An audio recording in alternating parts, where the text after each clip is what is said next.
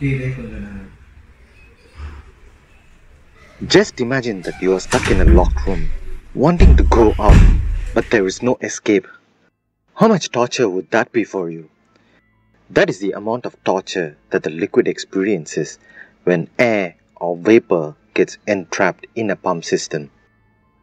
Today we are going to discuss about air entrainment, its effects on pump system, possible ways for air to enter into the system, and four tips on how to control them so that you can consider applying them in your pump system right away. Hello everyone, this is Karthik and welcome to the Pump Universe. Let us jump in.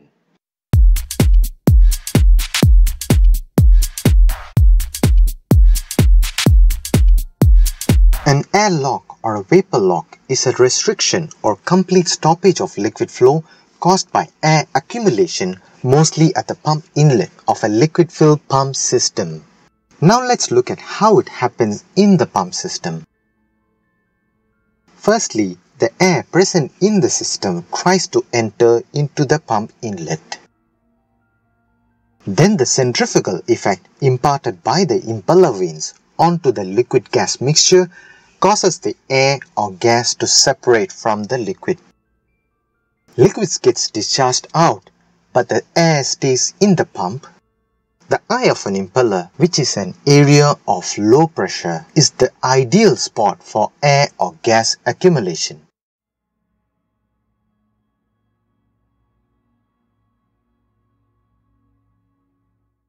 Then eventually the air or gas volume increases so much that vanes push them to the discharge area but at the cost of a liquid entering into the impeller. This leads to a dip in the volumetric flow rate. For example, a centrifugal closed impeller pump can have up to 22% of drop in performance with just 2% of air present in the liquid. So how does a gas or air enter into the pump system? Well, there are few possible ways. First is by dissolved gases in liquids. All the liquids have some dissolved gases or air in them. The presence of dissolved gases could be due to its necessity, just like the carbonated drinks.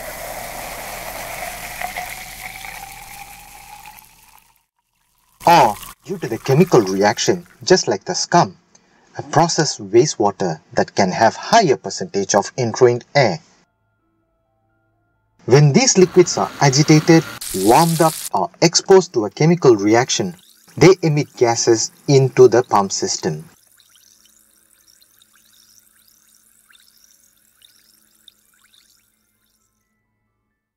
Open discharge on pump system. Having an open discharge to the sump lets the air mix with the liquid in the system and if the discharge is too close to the inlet pipe, the chances are that a significant amount of air will enter into the system. Vortexing Vortex is a whirlpool motion of liquids which will invite more air into the system. It is one of the key contributor to the air entrainment, but a least focus element on the pump system. Suction lift conditions Suction lift conditions can be a big source of air bubbles as they are under partial vacuum conditions all the time. And if they have leaks in their fittings, there is a high probability of air to sneak into the pump system.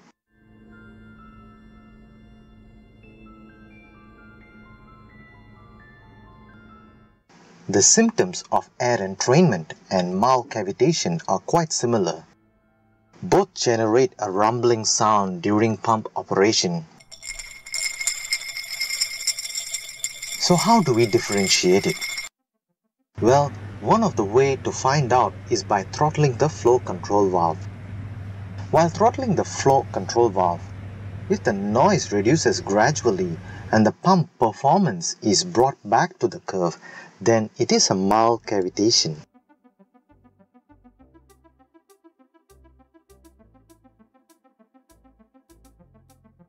Whereas, while throttling the valve and see no change in the noise level and performance is still out of the curve, then it is due to the air entrainment.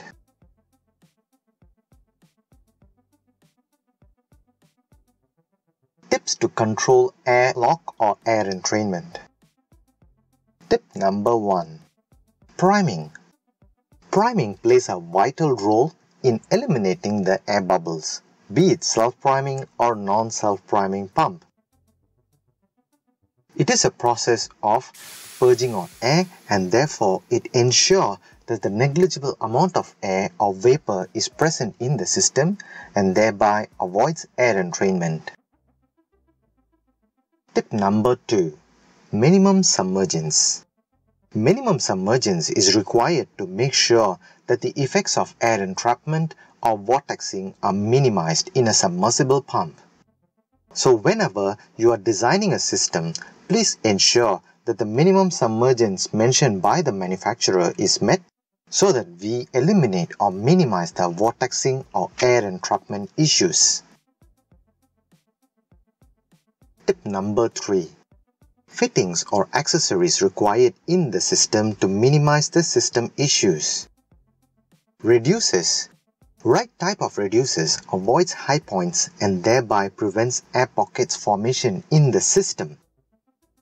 For example, instead of using a concentric reducer that has high points in their setup, eccentric flat top reducer is highly recommended type for pump inlets. Vortex breakers. Vortex breakers are proven to minimize the vortexing and having them in the system will reduce the possibilities of formation of air bubbles.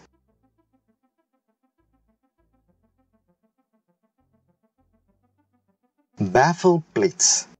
Baffle plates are just like a tennis racket or cricket bat that defends or diverts the direction of ball-like air bubbles to avoid air bubbles migrate to the inlet and hence avoids air entrainment. Tip number 4. Pump modifications of pump types to overcome the air entrainment issues.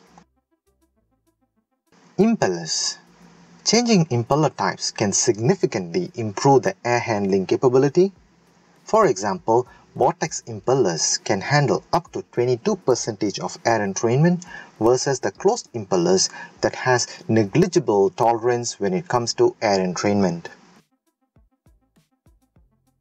Inducers Inducers which provide suction energy to boost the net positive suction head required can be handy to improve the air handling capability as well.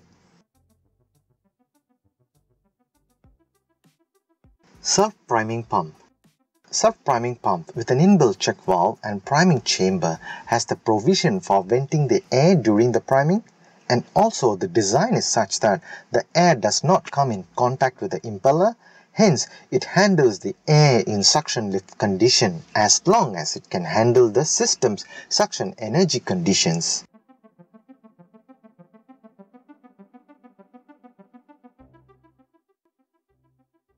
Vacuum assisted pump system. Vacuum assisted pump system is a better solution for extreme suction lift conditions. It is a self-sustained system where vacuum pump creates a cavity in the pump priming chamber that enables the sucking of the liquid from the sump to the priming chamber and lets the main pump run after the priming chamber is filled up above the permissible level. A double disc pump this four-decade-old technology pump uses viscous drag and boundary layer concept to pump the liquid. Boundary layer formation ensures that the thinner fluids or gases are nearer to the disc and thicker fluids go through the center of the disc. Due to this partition, these pumps are very effective in controlling the air entrainment up to 70% in volume. Hence, they are one of the go-to option for handling the scum.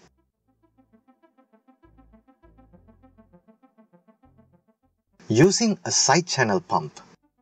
This design enables the gas to escape from the center of the side channel impeller and helps to deliver the liquid with up to 50% of air entrainment.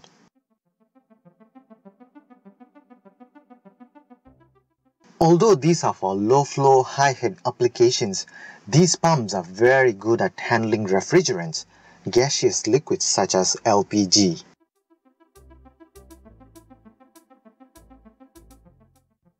In conclusion, I hope you have now understood that air lock or air entrainment is a universal problem occurring in all pump types. Although a small percentage of air provides benefits to the pumping, generally air is like a kryptonite to pump. The key is to make sure that we apply necessary techniques relevant to the system to avoid air entrainment and thereby preventing its effects. If you have enjoyed this video, please like, share and provide your valuable comments in the comment section. If you would like to receive similar content from this channel, please subscribe to Pump Universe. Take care and bye-bye.